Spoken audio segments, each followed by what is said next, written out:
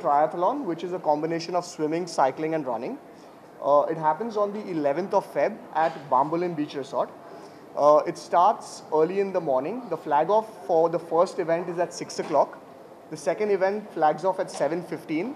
And the final event, which is the longest event, is at half past 7 or 7.30. Um, this year we've planned, we've got something new, which was not there in the previous years, and that is something called the duathlon. Now the duathlon is an event which is only cycling and running. It doesn't involve swimming. The reason for that is because there are a lot of people who do not know how to swim.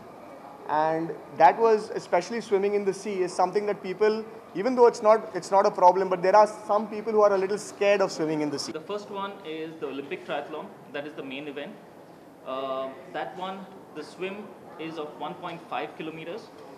The cycle is 40 kilometers. And run is 10 kilometers. Then you have the super sprint triathlon, where the swim is 400 meters, the cycle is 10 kilometers, and the run is 2.5 kilometers. The third one, which is the new category this time, the duathlon, consists of a run, a cycle, and a run again. This is a very intense event swimming, cycling, running.